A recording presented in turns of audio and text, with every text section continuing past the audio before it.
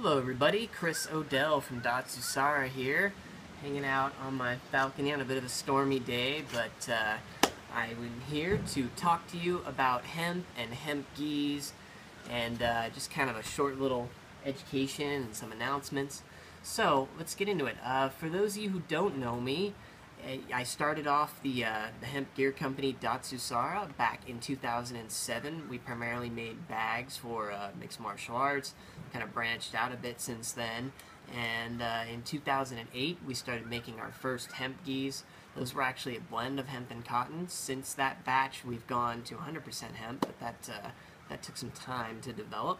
But we've been doing these for a while, so uh, so I kind of wanted to walk you through what is hemp exactly, why we use it, where it comes from, all that good stuff.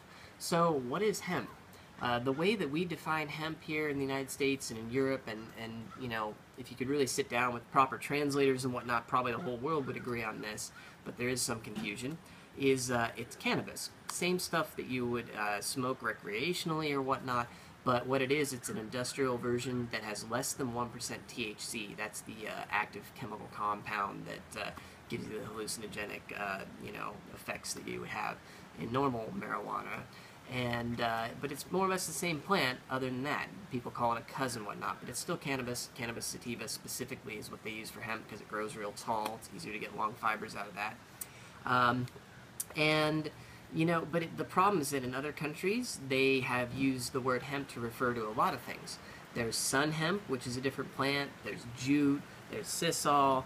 And uh, you even have things like in Pakistan, they have a what they are calling a hemp weave, which is actually 80% cotton and 20% polyester. We just found out about that. Same weave they use for judo gis. I don't know why they call it hemp. It's beyond me, but that's what they call it. Um, so you do have some confusion uh, as far as uh, the terminology around the word and what it really is. So you have to be very careful when you're someone like me making hemp gis that you check your sources, make sure you're getting the real stuff. Because if you don't get the real stuff, you're missing out on all the benefits of hemp. So let's go over the functional benefits first. Functional benefits you have is you have, of course, it's, it's stronger. It's a nice long fiber material and as a general rule, it's anywhere from two to even some tests will say two to eight times stronger than cotton. Now you still have to make sure it's weaved right and sourced properly and all that to make sure you get the maximum benefits. So there's a lot of work involved in that. But when done right, it's a lot stronger than cotton. So there's one benefit. It is breathable and it tends to kind of wick moisture away. It's a porous fiber. So when you're rolling it, even though it may feel like it kind of has a hefty weight to it, but you're gonna feel a lot more comfortable in it. Uh, I'm just gonna be like, I have a real, I hate the heat from cotton gis, drives me crazy. So um, hemp is a lot better as far as that's concerned. And then a huge benefit, one that we should probably uh, explain, you know, I should really just put big fat labels on the website and stuff like this, is that it's naturally antimicrobial. So what does that mean? So it basically it doesn't allow germs to take hold, germs, fungus, molds, all that stuff. So ringworm, staph, those kind of things. It's a little over, I say it's the upper 90 percentile uh, that it, you know, fights those things off. They're even looking at using it for uh, hospital scrubs, things like that. It's really great for that. So generally, if you take care of a hemp gi and you don't over-process the material, um, it will remain pretty fresh and, and it generally doesn't get too stinky like another gi would, even if you miss a wash or something, although I don't recommend that because that's nasty anyway. But it does have some great benefits that way, and as far as a bag goes, obviously the breathable properties and the antimicrobial properties will keep that bag nice and fresh. Um, so where does hemp come from?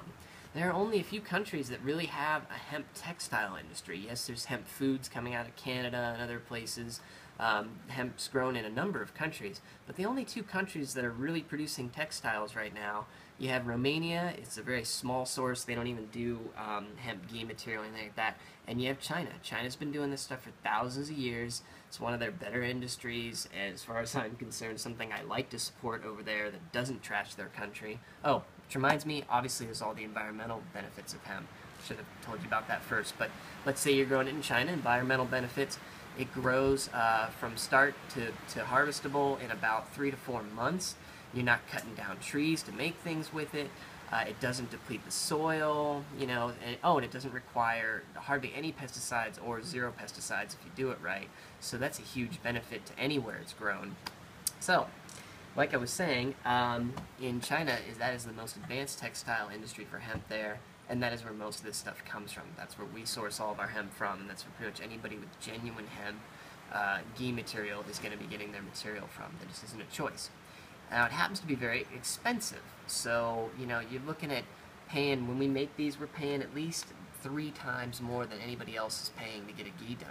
Because it's just it's an expensive and somewhat rare material right now. Even though it's fairly easy to grow it doesn't have the support of something like cotton which is just everywhere and it's cheap to produce and easy to produce. Hemp takes a lot more processing and machines and things to kind of get it to where it needs to be. So right now it's pretty expensive so when you see a high price tag on something like the Lucky Gi or My Gis um, there's a reason for it. It's not just a marketing thing. It's not a sensationalism thing. Ooh, we've got hemp. Let's just jack the price.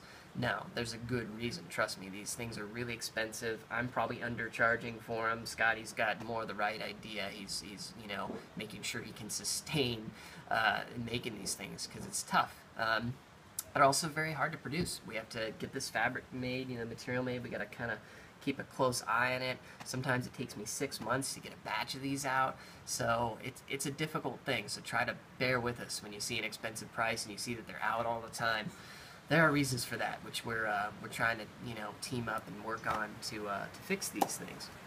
Uh, so keep an eye out for fakes too. There are some fakes out there. It's a sad thing. I don't want to get into it too much, but just make sure that you're getting the real deal and you know and you're getting what you paid for.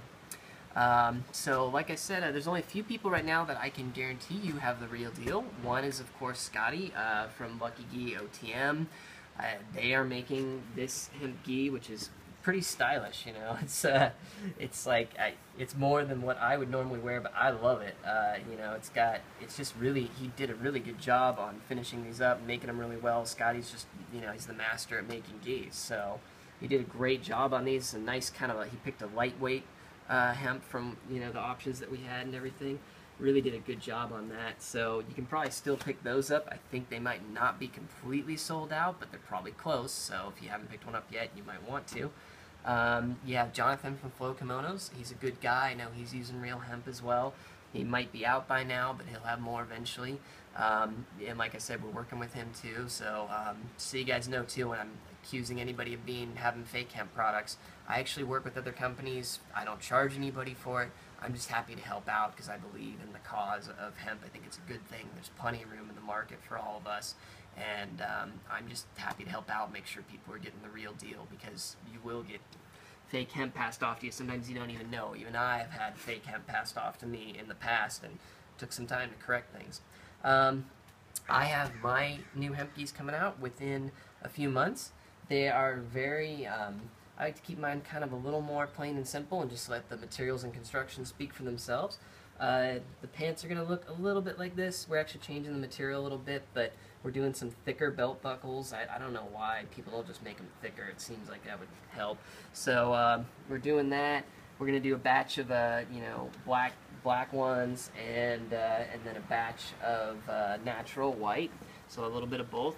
Probably be a few months before those come around, but if you sign up uh, for the email alerts, which you can do on the, on the Gi page on my site, then you'll know as soon as they go up for pre-order.